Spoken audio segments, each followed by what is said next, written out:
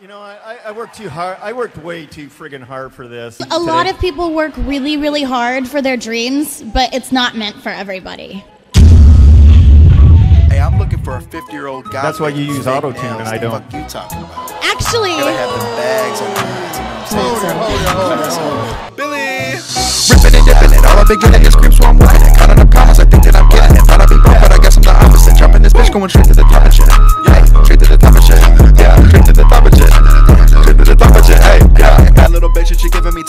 all of these haters just drop the fuck off my dick. If you don't like my shit, find a tall cliff and just drop the fuck off the shit. Yeah. yeah. Almost got a million that shit like whoa.